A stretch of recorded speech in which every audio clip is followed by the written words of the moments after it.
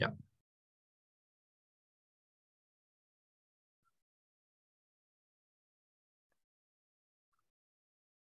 Hi, Derek.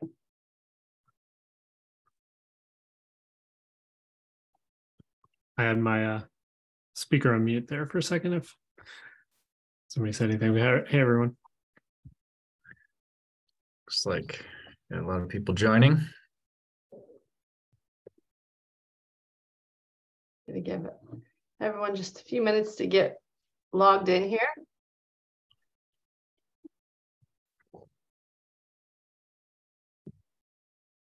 Hmm.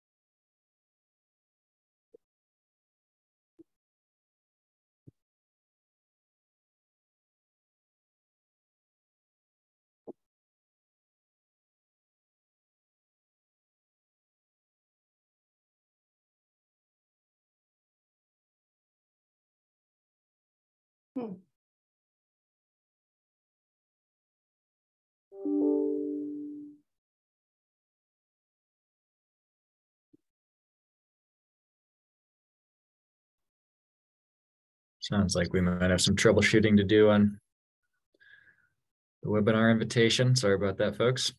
Yeah, we'll get that fixed for next time. I'll give everybody just an extra minute because of that. Um, in case they had to re-register.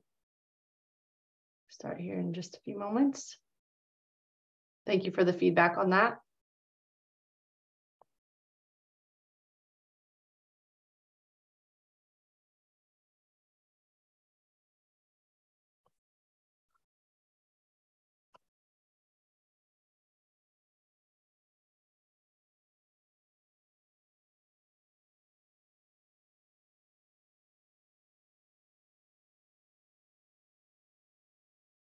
Okay, we'll go ahead and get started.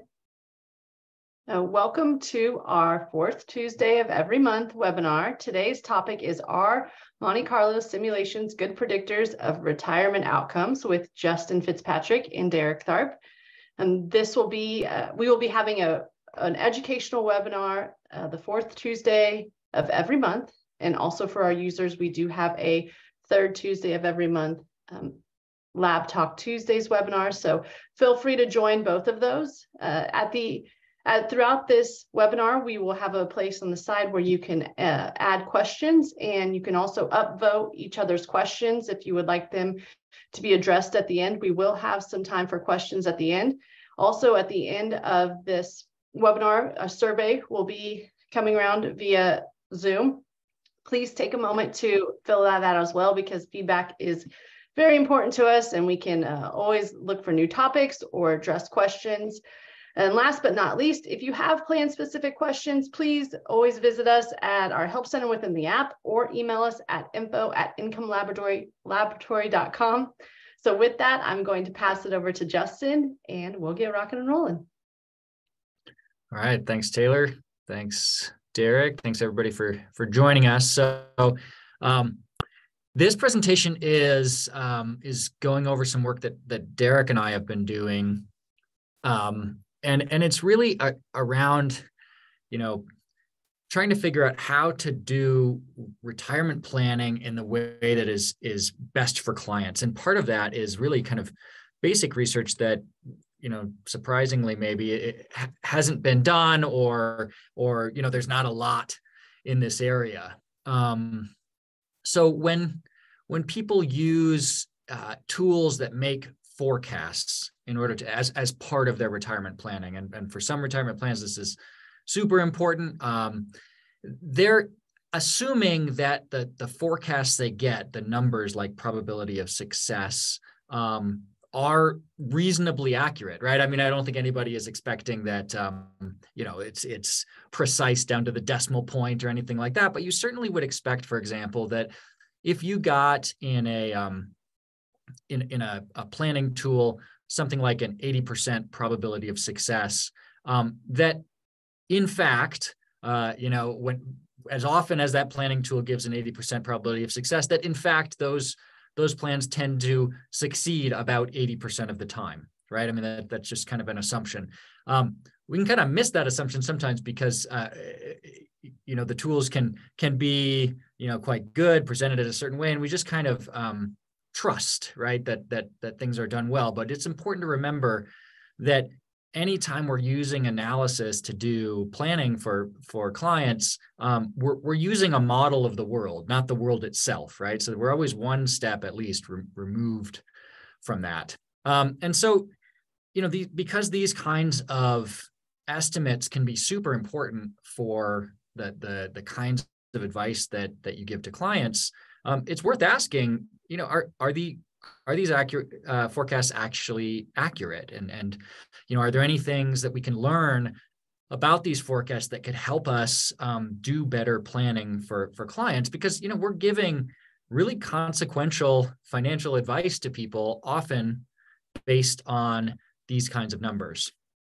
Now in in income lab software you'll never see a probability of success gauge. You'll never see the words probability of success or probability of failure because um, you know every everything done in income lab is is adjustment focused. So it's the idea that you're, you're a guide through retirement and then by guiding them through retirement um, they wouldn't fail or run out of money. They would simply adjust their behavior. Um, but even in income lab you know kind of under the hood estimates of risk and forecasts and things are important. So this is um, this is just as important for income lab as as for you know kind of uh, generalized uh, software that that does use success and failure framing. Um, so what we assume when we when we get something like a 80% probability of success is that we're somewhere around this middle blue box, right? Now, it does again the actual success rate. I think we'd all be plenty happy if it was 75 to 85 or something like that, right? But um, we we want it to be roughly in line. What we don't want is that I see an 80% probability of success forecast, but in fact, those kinds of plans tend to succeed only 40% of the time, right? So that would be um, a model, a forecasting model that is vastly underestimating risk. Um, I actually also don't want a forecasting model that says, you know, I have a 40% chance of success when in fact um, those kinds of plans end up succeeding 70% of the time. That would be overestimating risk. Um, this is probably a little now this example is extreme so i certainly wouldn't want this. This is this is way out of whack. Um, but if i had to choose between you know slightly overestimating or slightly underestimating i would probably choose overestimating in kind of the following the philosophy of you know kind of under promise over deliver. Um, because you know the, the news to a client that whoops actually things are better than i thought they were um, is is uh, is is good news whereas actually things are worse than I thought they were is is bad news. So um, Derek and I have done some work on on trying to figure out, you know, looking at different approaches to modeling the world, different approaches to Monte Carlo simulation, historical simulation, and so on. You know, how how do these things play out in in the real world? And I think the best way to understand how you can study that question is to look at a different one that we that that seems pretty familiar and, and pretty straightforward, which is um, forecasting rain. So uh, you know, meteorologists use all sorts of different weather models, right? Which could be you know analogous to different kinds of simulation models, different kinds of Monte Carlo analysis, historical analysis, and so on. So I think the the analogy goes pretty far actually. And also in predicting rain, we're not typically given categorical forecasts, right? Yes, no. Will will it rain tomorrow? Yes or no. Instead, we get probabilistic forecasts, which is the same thing that that you may be familiar with in retirement planning or, or financial planning more generally. So let's say, for example, that that these are two possible forecasts. Uh, you know, will it rain tomorrow? Yes. Or, well, there's a 75% chance it'll rain tomorrow. Now, if it doesn't rain tomorrow, clearly the probabilistic forecast was more accurate, right? Because it didn't, it it it it sort of allowed for the possibility that that it wouldn't rain. Um, let's say it does rain tomorrow, and these were the forecasts. It said, you know, one is no, it definitely won't, and the other one says, well, there's a 25% chance. Clearly, again, the probabilistic forecast is is um, more accurate in this case because it does allow for the chances that that, that it will rain. It just says that the likelihood is low. Um, and so when we want to um, kind of give a grade to different forecasting models, we want to look at how far off they are from the actual outcomes. Um, and one way to think about that is um, just looking at the error. Um, so, for example, if if I say yes, it will definitely rain, but it doesn't rain, my error is we could say 100%, right? I'm completely off. Uh, if I say it will not rain, zero percent chance, but it does rain, again, I'm I'm 100% off. So my error is, you know, 100%. Um, for probabilistic forecasts are generally not zero or 100%. So for, for anything in between, it's it's that that's still what we're looking at. We're saying, well, how far off from the actual outcome was it? It either rained or it didn't. Um, and so there's always some error. So for example, in, in this case, I'm comparing a good rain model and a bad rain model. Um, and they basically are, are always exactly the opposite of each other. So the good model in the first case is predicting 90% chance of rain, the bad model 10%. It does rain. Um, and clearly the good model is closer, right? It's it's it's not as far off as the bad model.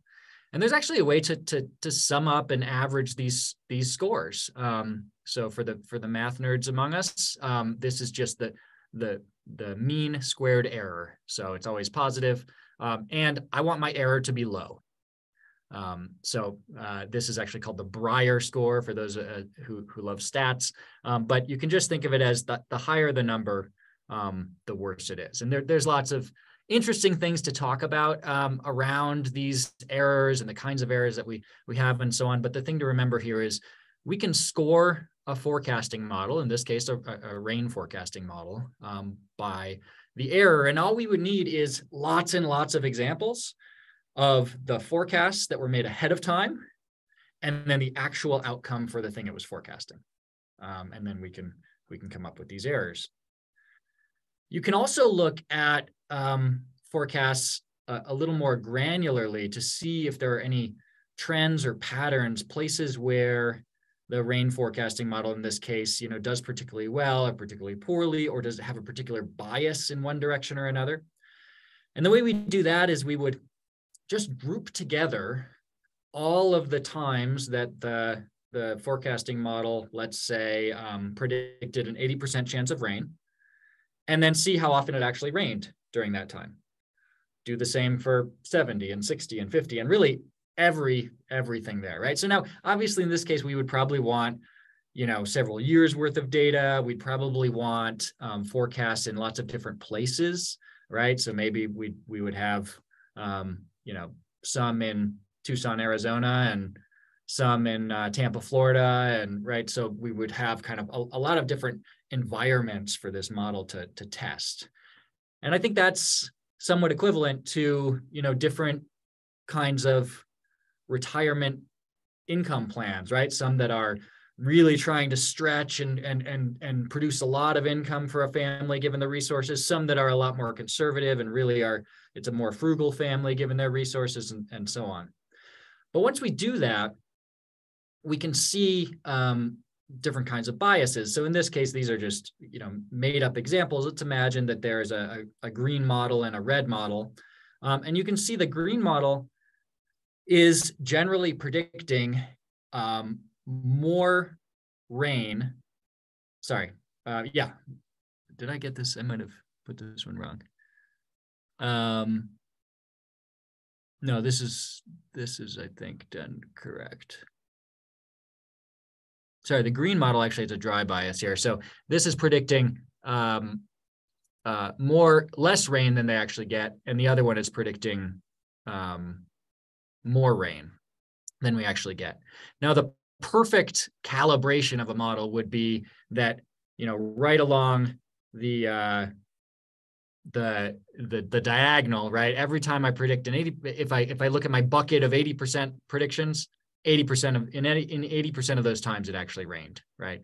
And again, you're not likely to see um, kind of perfect calibration in a model of something complex. So um, even in rain, I would find that that um, you know pretty pretty hard to to find. Um, you know, you can you can look at like if you're uh, into stats, you may have looked at like the 538 blog and you know look at their predictions on um, Major League Baseball games, for example. Um, you you won't see great calibration. There are other things that that can be very well calibrated though. Um, for retirement income plans, um, this is uh, this is one of those places where because the world is so complex, I, I really going into this did not expect to see um, particularly good calibrations or particularly low errors. These are the kinds of things that you know modeling them is the model of the world is likely not to capture everything about the world and and do a really good job. Um, however, um, we, we do expect there to be differences across models. So, so Derek and I looked at four different ways to, um, to produce uh, probabilistic forecasts, right? So this would be, you know, three different kinds of Monte Carlo and historical analysis. And again, we're really focusing on, even though this isn't how Income Lab does things or presents things to clients, we're just taking a very simple question here, which is predict probability of success and then see whether a plan succeeded or failed. So we looked at traditional Monte Carlo, um, reduced capital market assumption Monte Carlo. So this is just, uh, well, I'll, I'll, show you in a second what each of these are. Uh, regime-based Monte Carlo and historical analysis. Um, and in order to test um, the actual outcomes of particular forecasts, what we had to do is set up a, a, a, a very just systematic, formulaic way to produce capital market assumptions. Um, and so the way we did that is for traditional Monte Carlo, which uh, most people have used, um, we produced one set of capital market assumptions um, using the averages from the preceding 30 years. So if I was making a prediction um, in, I don't know, January of 1980, I would use the 30 years preceding that to create my capital market assumptions. For reduced capital market assumption, uh, Monte Carlo, we just reduced the, the ones from traditional by 2%, right? So this was meant to sort of reflect um, what some uh, advisors and firms do, which is say, hey, you know, I, I, think using historical averages, although, you know, clearly that, that's, there, there is some motivation behind that. I think it let's be a little more conservative and, and bump down our, our capital market assumptions. For regime-based Monte Carlo, we also used historical averages. So again, if I'm in January of, of 1980, I'm only looking to the past. Um, but here we allowed um, the, the forecaster to use all of history, but they, um, they first filtered history only to use the, the times in the past that were closest to that point. Um, and the filter we used was, was CAPE, so um, cyclically adjusted PE ratio. And we just got rid of half of history, the half of history that was that had the, the, the CAPE that was farthest away from where we were in January of 1980, for example. Um, and that's how we created the, uh, the regime-based Monte Carlo. For historical, Again, January of 1980, we just allowed that um, to use the return and inflation sequences that were available up to that point in time, right? So there's never any, you know, foresight allowed. This is all kind of, we're, we're trying to make sure that at each point in history, we're acting just like we do today, um, where we can't see the future. And just a reminder for um, maybe those who haven't seen it, um, regime-based Monte Carlo has two sets of capital market assumptions. There's one for the near term, and one for the long term. Um, you can set, you know, for example, in Income Lab, you can set what you mean by near term. Um, we just used a 10 year period. So near term was 10 years, long term was the rest of the plan. Okay, so again, just to go over how this worked, um, what we did is for each forecasting point, um, we uh, we created capital market assumptions and we made forecasts um, for the, the period to come. Um, and what we did is we, we took 200 different uh, retirement income plans, again, that were kind of between uh, quite conservative and quite aggressive. So it's sort of, you know, Tucson versus Tampa. Um, so a, a, broad range of those. And we had the model make predictions. Um, we had each model make predictions about the probability of success of that plan, right? So some were going to be, we're going to have very high probability of success. One, we're going to have very low pro- probability of success and lots in between. And then as we step through time, this is, you know, we just, um, the, the, each model gets access to more, to more of history for regime-based Monte Carlo, the same, except that you know we just extend the the, the amount of history available. And same for historical, right? So, and we're doing that across you know as much of history as as we possibly could, which for us um, had us making um, predictions from 1951 to to 2002. Um, and again, it was just systematic withdrawal plans from a, from a 60-40 stock bond portfolio. This this kind of study could could very easily be done for other types of plans, you know, more more realistic, um, complex plans as well. But this was kind of a, a proof of concept and, and one that hopefully we can um, extend in the future. Okay, so how did these models perform, right? We, we have, you know, thousands of forecasts, right, for each model um, what was the, the error level? Well, it turned out that regime-based Monte Carlo and historical analysis had very similar error levels. Um, and both of them were about 25% lower than traditional Monte Carlo and the uh, reduced capital market assumption Monte Carlo. So this, I mean, this is a this is a pretty important finding, right? So um, just by kind of improving your forecasting model um, in doing retirement income planning, you can reduce the error of these risk estimates um, by you know a, a, a sizable amount. So this would be you know kind of like choosing between rain forecasting models and, and just saying hey let's let's do the one it's not perfect right but let's do the one that is that generally has lower error and is and is predicting rain a little bit better, rain or dry a little bit better. Okay, so um, this is uh, showing us the the calibration of these models. Now I know this is a this is a complicated chart, and actually I, I realize it doesn't it doesn't match the the rain forecasting one we had before, but what you have here is if, if we're above the black line, so the black line is, is um, perfect calibration, right? So every time I predict 80% chance of success, I 80% of those cases succeed. Um, again, we don't expect that, that to happen. Um, and then if you're above the line, you're actually getting more success than you predicted. So this isn't so much what, what we're looking at here isn't predicting rain, it's predicting dry, right? Um, so if you're above the line, um, we would have what, what you would call a, a wet bias. So um, you're predicting a lower probability of success than you're actually getting. And it, just like in rain forecasting, um, most people prefer a wet bias. There's even evidence that that rain forecasts actually have a wet bias, whether that's because of the model or, or because you know the the meteorologist um, is is doing that on purpose. I I don't know, but it could even be the latter because people would prefer to bring an umbrella and not use it than to not bring an umbrella and wish they had.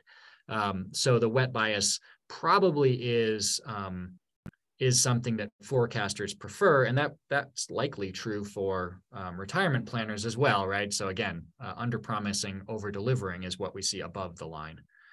Um, so there's some really not- notable things here. I'll, if we just look at, let's say, you know, kind of above about 55% probability of success, um, which are the, that's kind of the range that most uh, plans are going to be in. In fact, most ad- advisors say they actually prefer kind of I think in the 70 to 90 range is what um, Derek, I think, found in a survey, um, though he can correct me.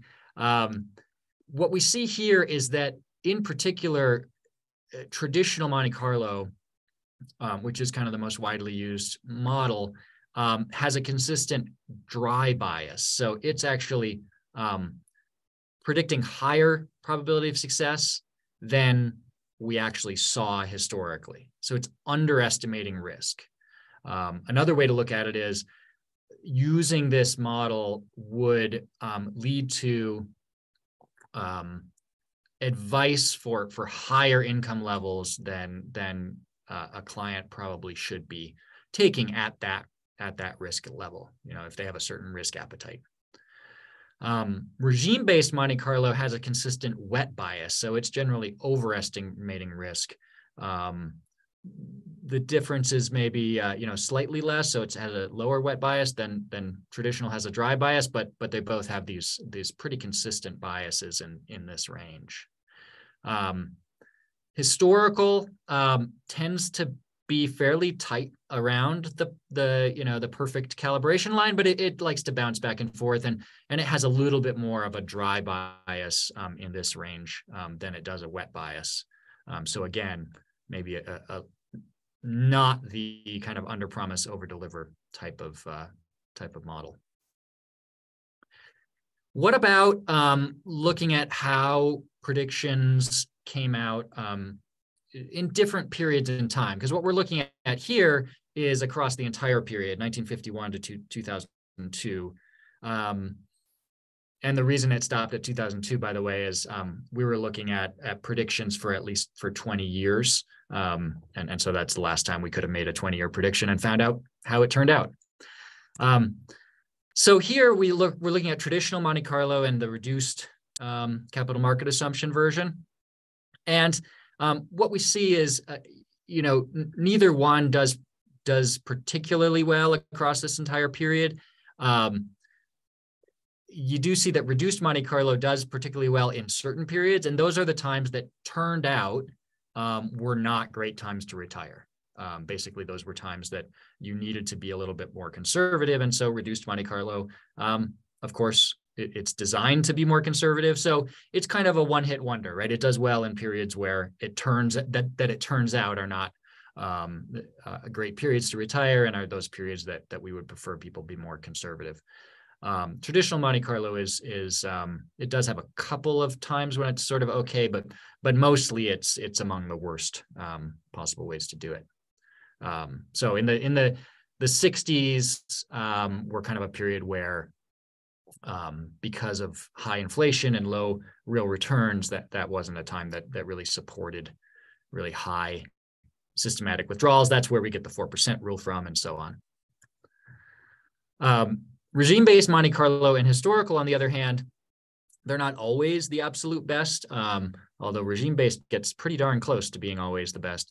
Um, but uh, they they do seem to perform better across different kinds of environments, right? So they do well when that in periods that turn out to be poor. They do better comparatively in turn in periods that turn out to to be great times to retire. For example, the the mid mid 80s, um, you know, turned out to be historically one of the times that people could have taken the highest um, systematic withdrawals because inflation was coming down, interest rates were coming down, stocks were doing well, and, and so on. So none of the the plans did, you know, their best at this period. Uh, none of the models did their best at this period, but uh, regime-based and, and, historical were were doing the best.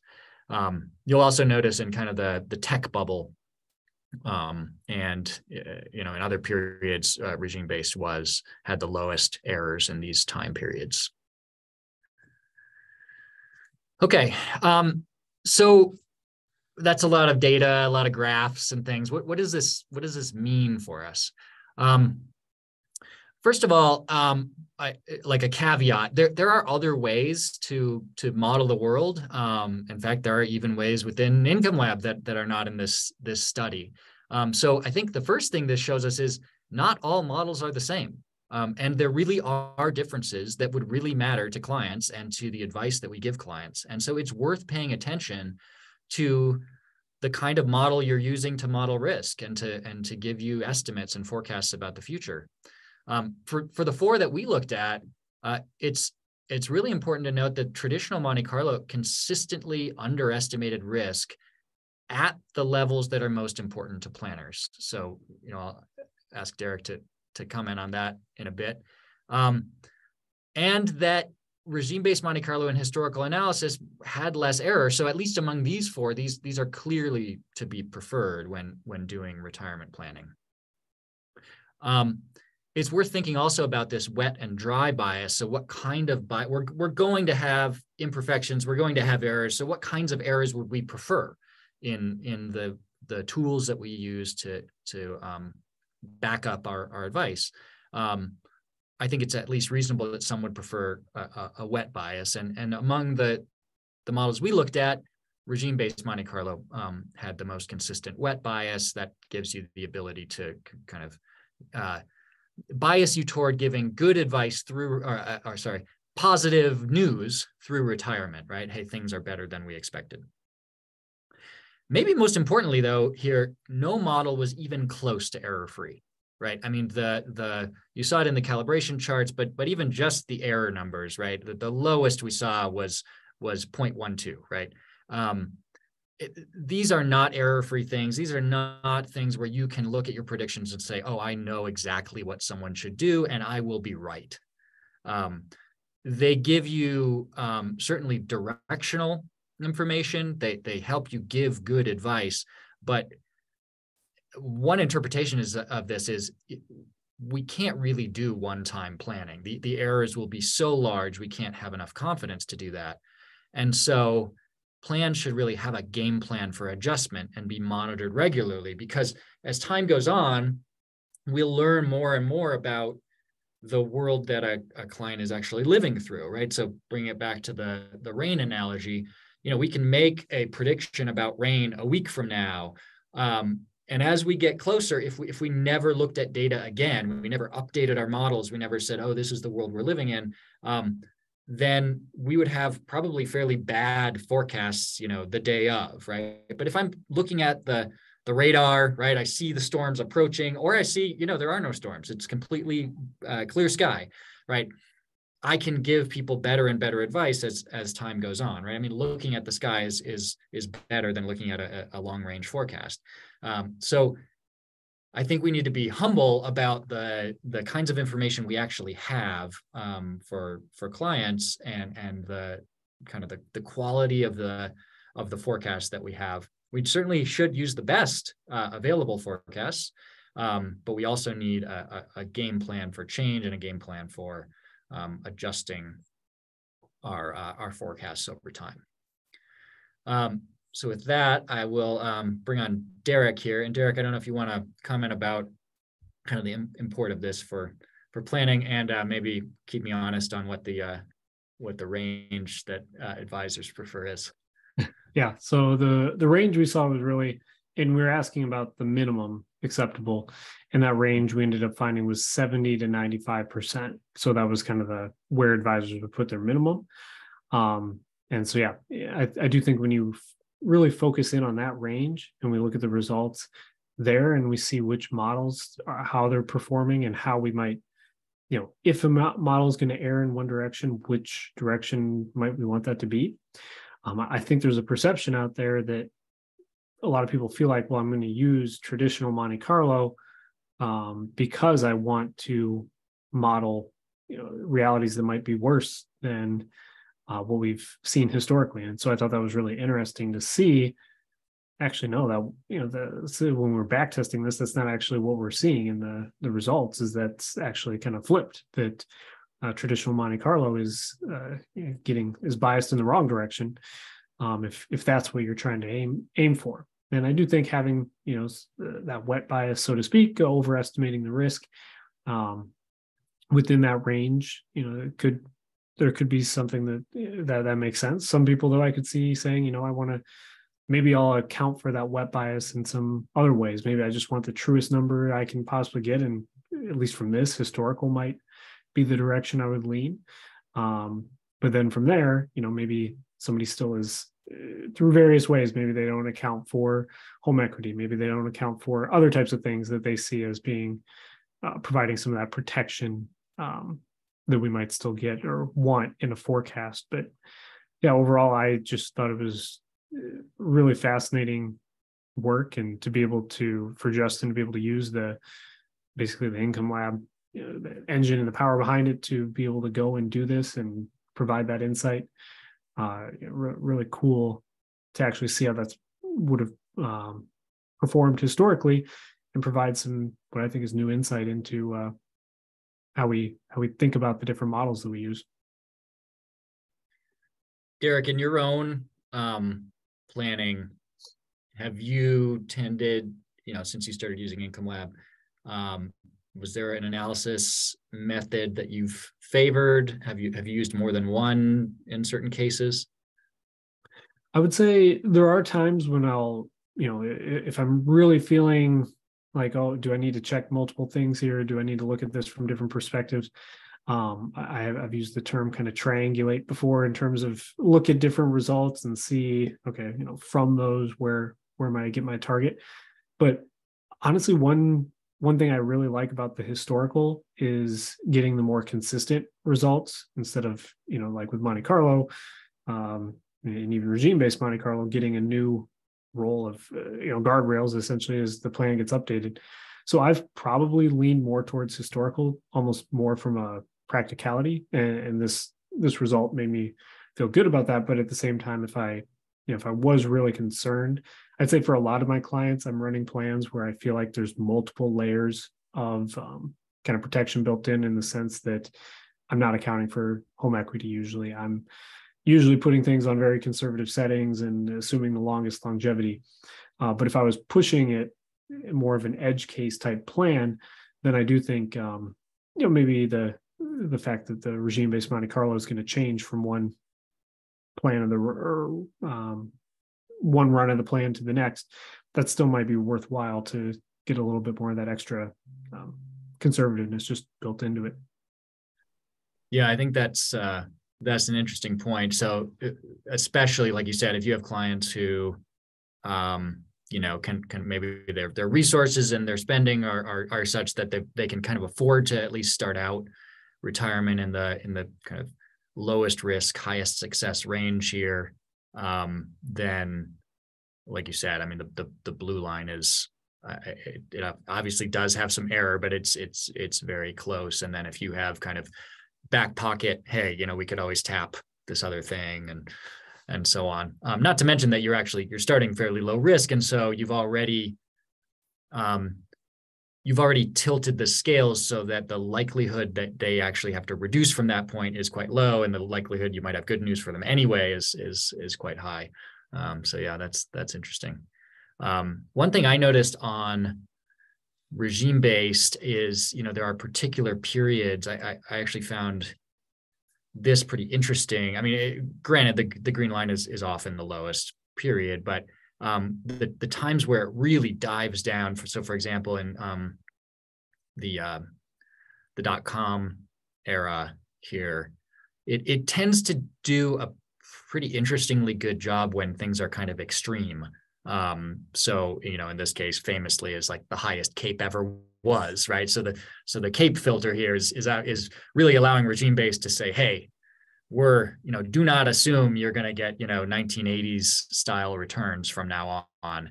Um, and clearly it you know it, it turned out to be to be right in this case. So it's an interesting way to kind of have different capital market assumptions in different periods you know without it just being you know pure opinion or something like that um, it's interesting that historical does pretty well even without that filter actually on income lab you, you can apply a similar filter but even without the filter um, historical does quite well. Um, I don't know if you have thoughts on why that might be.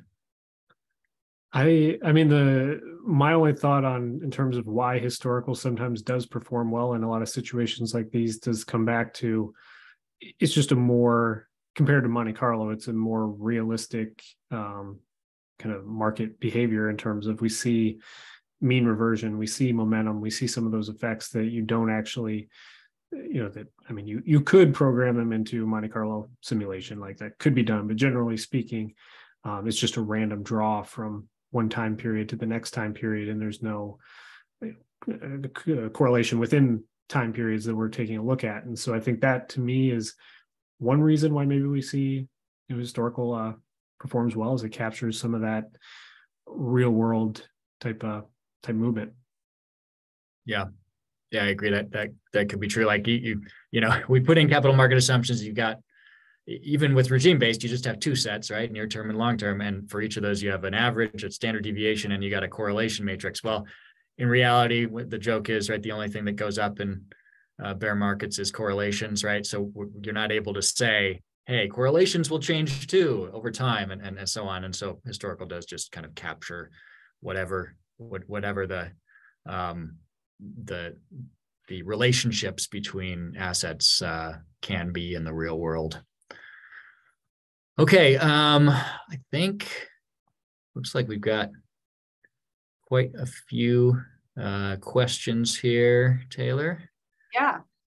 Um, so some of them uh, can be answered together, I guess. Uh, okay. The first one is, um, have this has this research been published somewhere? Uh, Derek and I have a draft that's that's being edited right now. Um, so I yeah, hopefully you'll see it somewhat soon. But no, this would be a, a webinar exclusive here. You're getting a first look. Good answer, Derek. Um, next one is um, how do you think this research applies to building plans and income labs specifically, using historical versus regime, etc. Does it make you want to build plans using any model specifically?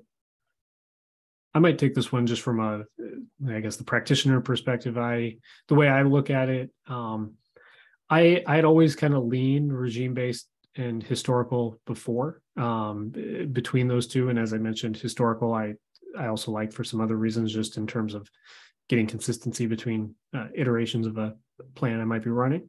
But um, I think that to me only kind of solidifies that that uh, now I lean even harder on um, using either regime based or historical as my preferred uh, method. And again, there's different contexts or situations I might use one or the other, but uh, those would be the two I would tend to go to. Yeah, and I would, I guess I have some some thoughts on that as well. I, I think I always um, had a bias toward historical because of you know what we were just talking about with how you're kind of capturing changes in correlation and, and really modeling a really wide range of, of possible worlds and worlds that we know can exist because they have existed. Um, this increased my confidence in regime-based Monte Carlo. Um, I, I, personally like the wet bias. I think that it's nice to be able to um, kind of uh, give people um, good news. Um, and and I don't think that the wet bias is so extreme that you're um, you know kind of giving way out wrong answers or anything like that. I've also seen in practice um, that there are certain plans that could really benefit from regime based over historical. The, the main example I can think of there is um, plans that are really subject to inflation risk. So if you're using regime based and you're able to say, no, look, in the first 10 years or five years or whatever your near term period is, let's assume inflation's really high. Then you're able to kind of say, hey, let's let's do a plan that for this particular risk, I, I have kind of been conservative. If you're using historical and you're not filtering it at all, which which again in income lab you actually can filter, but um, then you're getting periods of time with low inflation, periods of time with high inflation, periods of time with deflation. Um, so you're getting a, a, really cool broad range of things, but you're including in the simulation some periods that um, you probably don't think are likely to happen. Now we, we could be wrong, right? But um, you know that that's one place I've really seen regime based be regime based uh, be be useful for for getting um, getting at the issue that somebody has. So a good example of that is if if you have a lot of pension income that's not adjusted for inflation, um, that could be a plan that's really subject to inflation risk. And so you know you might want a, a particular tool to to help give those clients really good um, targeted advice and just to tack quickly onto that too as well i think uh, you know the economic environment we're in can be another reason where like a lot of people were concerned you know go back a year, maybe not not so much now, but a year ago, with high market valuations, low interest rates, uh, you know, the wanting to capture some of that in their capital market assumptions. So when there's particular economic concerns, uh, just similar to Justin's point there with c- certain plan types, I think that can be another reason where uh, regime-based Monte Carlo is is a much better approach than this across the board reduce everything Monte Carlo, which clearly just gets you know too far off of reality, in my opinion. Yeah, I guess we didn't address that one too much. I mean, definitely it it it moved the the dry bias. It got got rid of most of the dry bias, but um, really, it, it like I said, it's kind of a one hit wonder. So it, it only works when when things are going to be bad, right? Because you're it, so it doesn't work. Kind of, it's not an all weather type model. Um, so. Um, just a reminder that we do have some questions in here. If you'd like to hear the answer, you can vote for them. Uh, we do, you know, we have are limited on time, so wanted to make sure that the most important or most uh, voted on questions are getting answered. Uh, there is one that says when um, when referring to, I guess we can go back to to Derek's question. It says, Derek, do you discuss the pros and cons of different models with clients, or do you triangulate behind the scenes?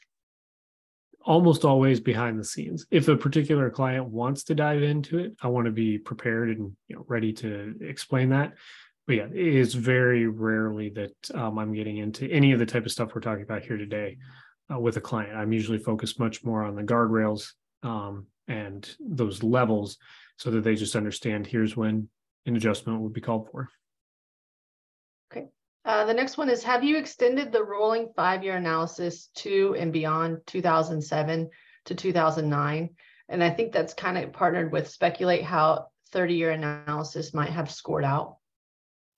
Yeah, we actually, it, because we were doing 20-year forecasts, uh, in order to to get at least to the tech bubble, um, we also did the exact same study with 30 year forecasts and for the period that overlaps right so this that only let us get through uh, 1992 um, the results for 20 year and 30 year forecasts were very very close. So that like the the correlation between those results was was very close which you know we we won't know uh, how 30 year forecasts in 2002 really work out until 10 years from now but it does give me confidence that hey, given that they were very similar for the periods that do overlap. Um, I, I, feel relatively comfortable saying, hey, these models might perform similarly for 30 year forecasts. We didn't do it for 10 year or five year forecasts. That that would obviously be a great way to extend this research, um, extending it to other models, right? I mentioned being able to filter history, or you know, you might have other ways of creating capital market assumptions. Um, other types of plans is, is an obvious one, right? Plans with Social Security, plans with the retirement hatchet that Derek and I have talked about before, plans with um, the retirement smile.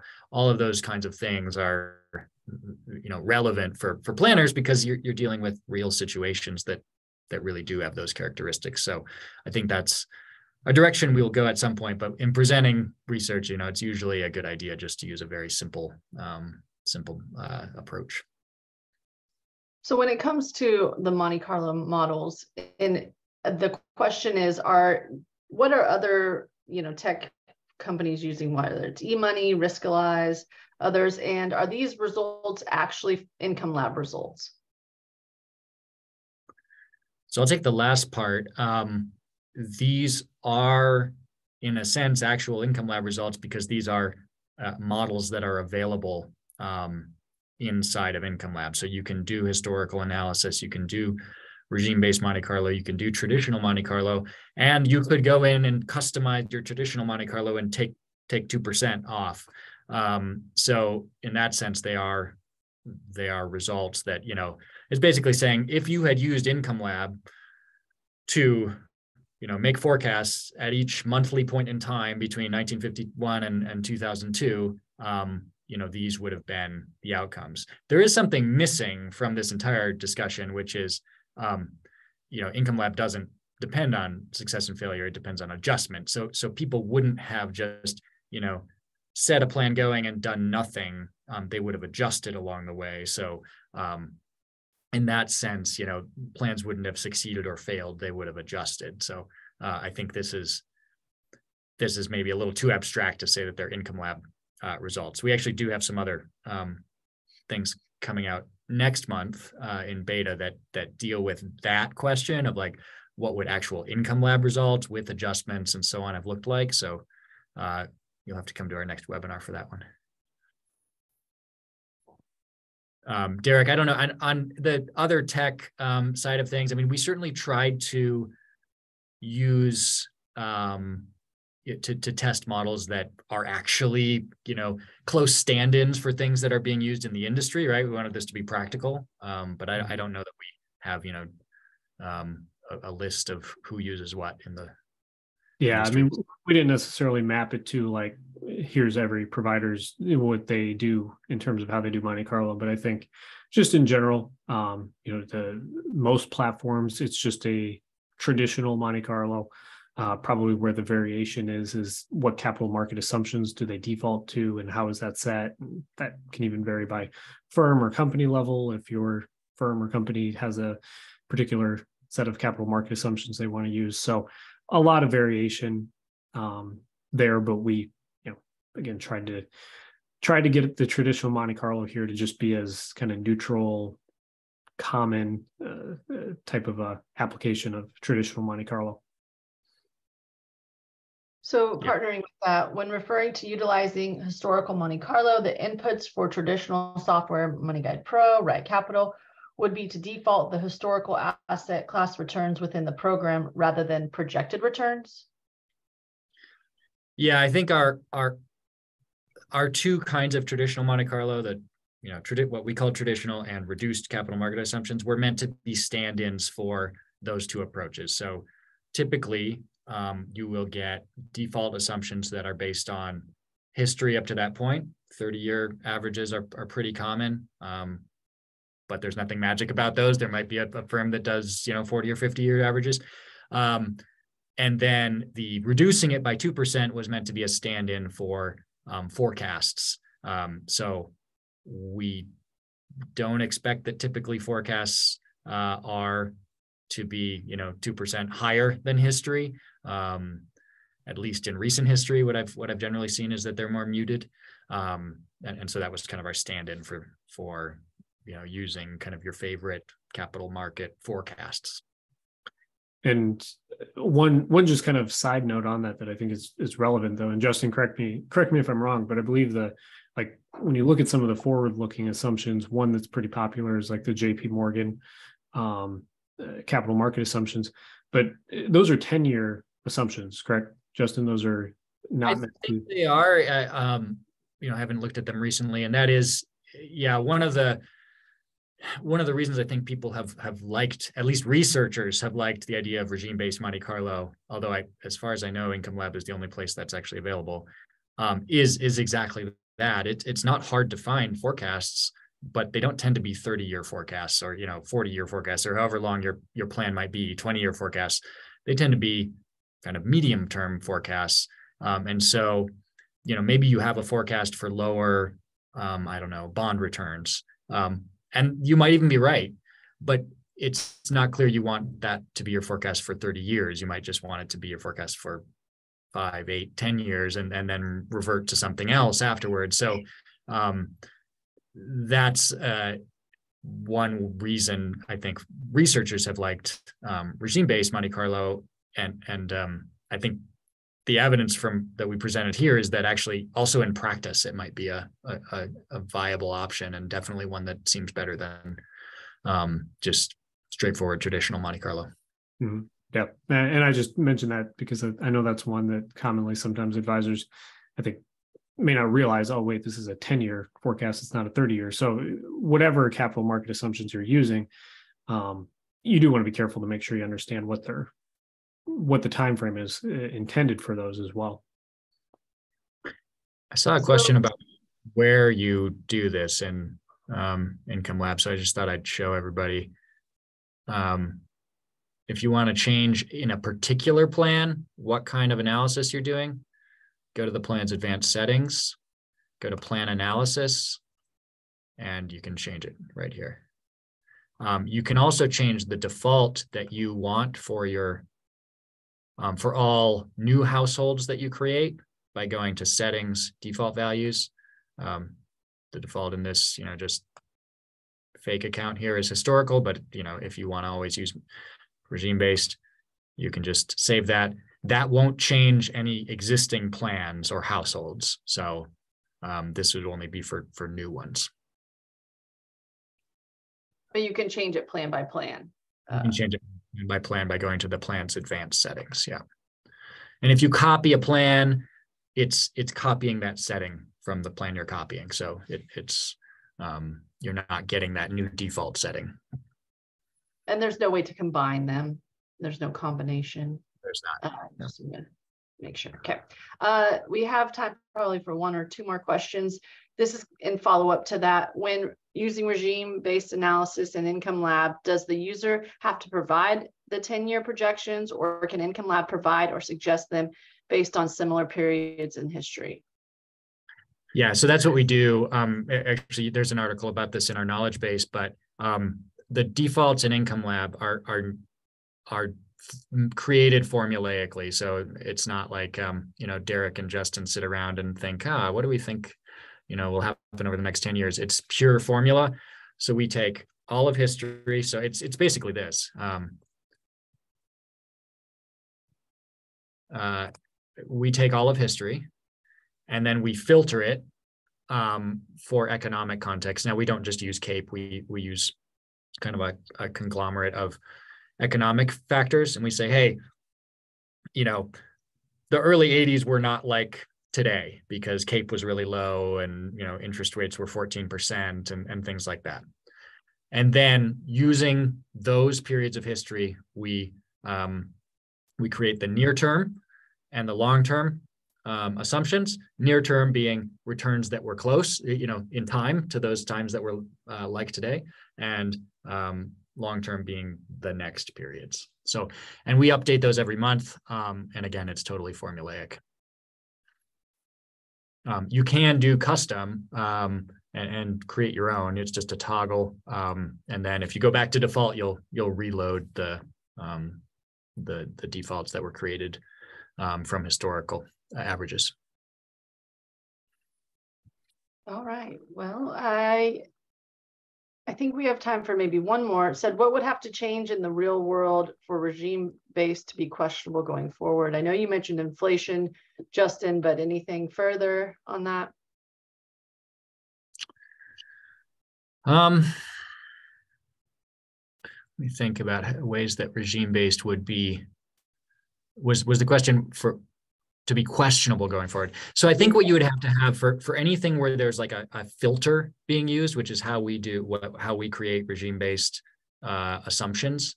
Um, look, if your regime based assumptions are turn out to be good, there's really nothing to make regime based bad, right? I mean, the assumption is that your your capital market assumptions were good. So the way that regime based wouldn't work is if the capital market assumptions turn turn out to be just just bad, just wrong. So for example, if we're filtering with CAPE, we're filtering out low CAPE periods. Well, low CAPE periods were generally followed by good stock returns. Um, so we're filtering out the periods that had good stock returns, which means your near-term assumptions are generally going to be lower stock returns. If it turns out that really high stock returns are are you know coming, even though CAPE is already really high, um, that those would be bad assumptions, right? We would get we would get bad performance. So basically, things would have to kind of flip on their heads from how they've been in in history um, for for regime based to to perform poorly. Hmm. And you know, could that happen? Uh, possibly, um, but it uh, you know history is the only data that we actually have. So um, it's uh, it's uh, I would probably be uh, reluctant to to assume that will definitely happen. Yeah, I would just add to that. You would only know that after the fact, and I still would probably lean towards using some of that insight, the economic context, to plan based on what we know in the moment. Um, and then the other uh, other way of thinking about that question, I guess, a little bit different. But if we're in just a like perfectly average time where the economic context isn't actually doing anything, you you might be in a situation where you're getting basically the same result. It's just not doing as much, but um, it wouldn't hurt. Yeah, yeah, and to that that point also, I think this is where um, having a game plan for for adjustments like this is okay this is what we're going to do and we'll do this until we have clear reason to change um, and then having a plan for what those changes would be when they'll happen how big they are and so on um, that kind of makes getting this number exactly right um, you know a little less important. And that's that's good because these numbers are not exactly right. Uh, they, they just can't be that again that was sort of the um, probably the the second biggest takeaway from from this work is just that um, there's there's always error, and so um, if the future turns out worse than the past, um, we'll learn that as we go on in time, and we'll adjust to it to accommodate that. We can't hope to predict it ahead of time. All right. Well, we are at the top of the hour, so I figured we would wrap this up. Um, this has been recorded and it will be available and distributed uh, via email to the attendees and the folks that registered. Uh, there was just a follow up. If this, when you publish this research, do you know where it would be published? Uh, just thought that that you might be able to answer that, Derek or Justin. People people might know where we've published research in the past. Commonly, I I don't know. I, I don't want to say too much before it's gone through any processes or gotcha. been evaluated, but um, common places where you see me write stuff might be a good place to go check out. Yes, yeah, and we'll, we'll, announce it from the mountaintop when it's uh, when it's out. So. Well, thank you all for attending. Again, we do have a Lab Talk Tuesday, the third Tuesday of every month, and then an educational webinar, the fourth Tuesday of every month. Uh, thank you all for being engaged with your questions. And if you need anything further, uh, contact us at info at incomelaboratory.com. Justin, Thanks, Derek, anything further? Thanks, everyone. All right. Thank you.